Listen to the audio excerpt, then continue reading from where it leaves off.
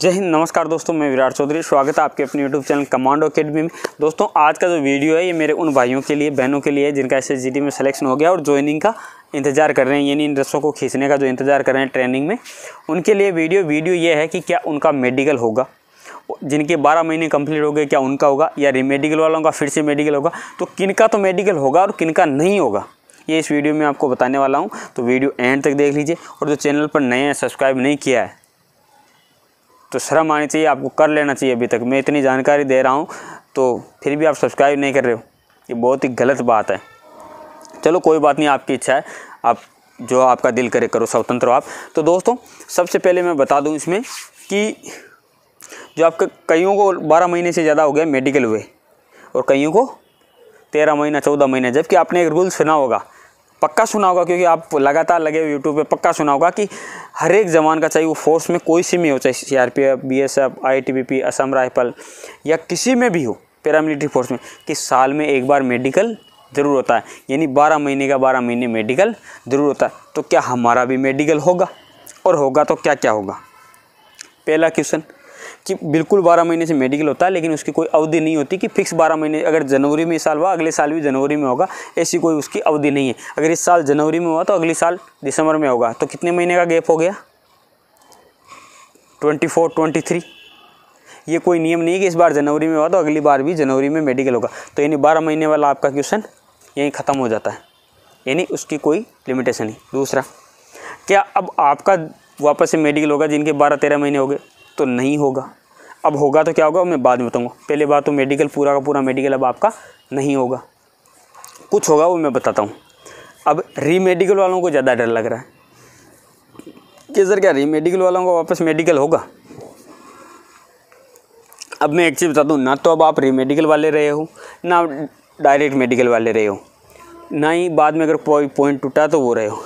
अब आप एक हो गए हो। आप में से कोई तो रिमेडिकल वाला नहीं है, कोई मेडिकल वाला नहीं। आप सब फिट हो और फिट हो। चाहे रिमेडिकल में फिट हुए हो, चाहे कैसे फिट हो सब के सब फिट हो। ठीक है? तो इस बात को भूल जाओ कि अब मैं रिमेडिकल में रहा था या इसमें रहा था, वो बातें यहाँ तक ख़त्म हो जाती है दोस्तों। पुरानी बात पर मिट्टी डालो, आगे बढ़ो। ठीक है, वो बात वहीं ख़त्म हो गई। अब अगर मेडिकल होता है तो क्या होता है? और मेडिकल में कैसा होगा? लड़कियों का भी मेडिकल कुछ मेरे को मैसेज करें, कैसा लड़कियों का मेडिकल पूरा का पूरा होगा क्या? वापस पूरी बॉडी चेक होगी कि, या लड़कों की भी पूरी बॉडी चेक होती है क्या? या कलर विजन वापस चेक होता है क्या? कायनों को वापस आई से चेक करते हैं क्या? एक्सरे करते हैं क्या? यूरिन चेक करते हैं क्या? ब्लड चेक करते हैं क्या? ये ऐसे क्वेश्चन वापस मेरे को आजकल आने लगे क्योंकि ज्वाइनिंग के डर से। मुझे पता है कि कुछ लोगों को डर लग रहा है कि ज्वाइनिंग आ गई अब अगर मेडिकल हुआ तो क्या हुआ? वापस घबराहट थोड़ी सी बढ़ रही है। तो वैसे तो घबराना नहीं चाहिए आपको मैं बता दिया। पहले भी कई वीडियो बना रहा हूँ, लेकिन आज एक बार फिर बना रहा हूँ आप सभी के लिए। तो दोस्तों, सबसे पहले तो आपकी जो घबराहट है, इसको साइड में रख दीजिए और हंड्रेड परसेंट इस बात पे एग्री कर रहा मैं आपको बता रहा हूँ, पहले बता रहा हूँ कि अगर आपका पैर, हाथ, चोट कहीं पे भी लग गई है तो भी आप ज्वाइन कर लेना, कोई टेंशन करने की ज़रूरत नहीं। अगर हाथ, पैर में कहीं पर भी कोई भी चोट लग गई ज्वाइन कर लेना, कोई टेंशन नहीं है। आपको इस भर्ती से आप आउट नहीं कर सकते कोई भी।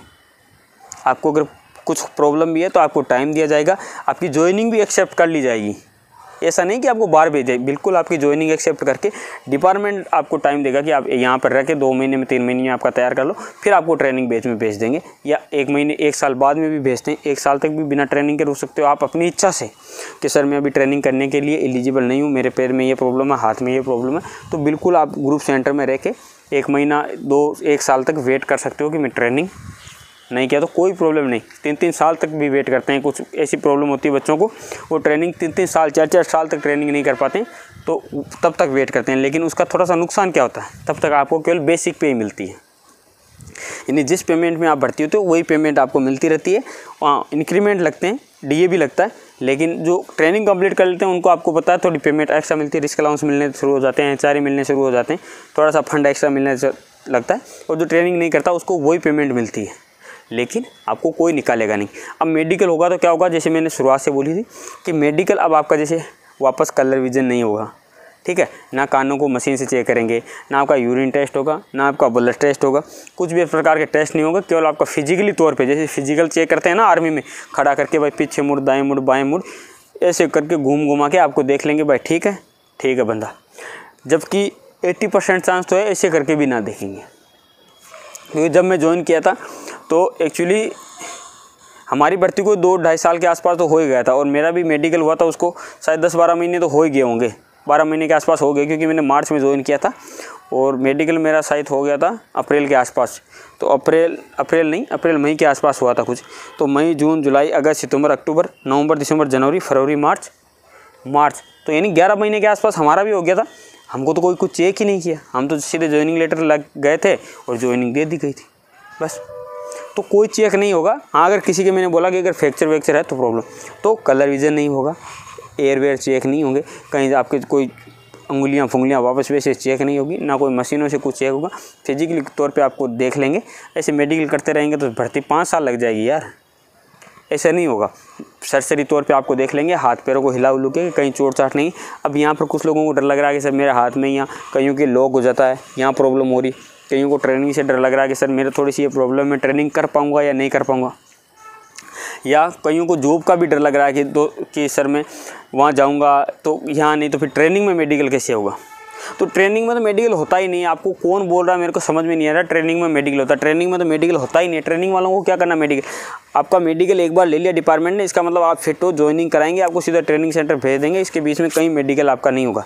ना ट्रेनिंग सेंटरों में मेडिकल होता है, ना यहाँ। ट्रेनिंग सेंटरों वालों को तो करना है क्या मेडिकल पर अगर आप खुद मतलब आप में खुद में कोई प्रॉब्लम है तो मेडिकल होगा। अब आप में है ही नहीं तो कोई मेडिकल खुद में प्रॉब्लम मतलब कि आपके मतलब पैर के प्लास्टर हो रखा है, हाथ के प्लास्टर हो रखा है, या कहीं आपके सर में चोट लग रही है, पैर में चोट रखी है, पेट दर्द कर रहा है, या कुछ प्रॉब्लम है, या कोई आपने ऑपरेशन कराया, किसी का अपेंडिक्स ऑपरेशन हुआ है, या कुछ और ऑपरेशन हुए तो वो तो खुद जाके ही बोल देगा ना कि, सर और वो कब बोलेगा? उसको बता दो ज्वाइनिंग ज्वाइनिंग करते ही बोल देना।